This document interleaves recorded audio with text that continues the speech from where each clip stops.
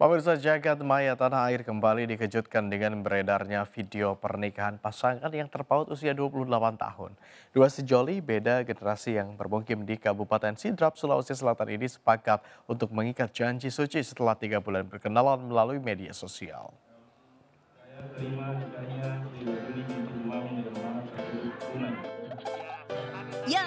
inilah prosesi akad nikah pasangan beda generasi yang sempat menghebohkan jagat maya tanah air.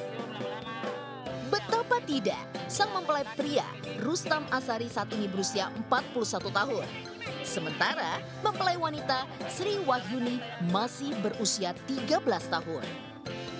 Pernikahan ini pun diakui pihak keluarga mempelai wanita yang bermukim di Desa Lautang Salo, Kelurahan Makorawali, Kecamatan Pancaruang, Kabupaten Sidrap.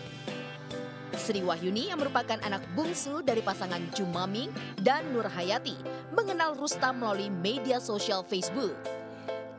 Keduanya kemudian menjalin komunikasi secara rutin melalui aplikasi pesan singkat. Ya 2 sampai 3 bulan dia kenal lewat HP. Sempat sempat telepon teleponan tapi tidak pernah ketemu. Pas ketemu pada saat pelamaran. Kapan melamarnya? Sebelum bulan puasa. Pernikahan Rustam Asari dan Sri Wayuni berlangsung tiga hari lalu, yakni tepatnya pada hari Rabu 12 Juni 2019. Pihak keluarga menegaskan bahwa janji suci yang diikrarkan keduanya bukanlah karena dijodohkan maupun tekanan pihak keluarga, melainkan karena dua sejoli ini saling mencintai. Di Kabupaten Sidrap, pernikahan beda generasi sudah pernah terjadi sebelumnya, di mana seorang nenek berusia 65 tahun menikahi pemuda berusia 20 tahun. Dari Kabupaten Sidrap, Sulawesi Selatan, Iksan Ansari, iNews melaporkan.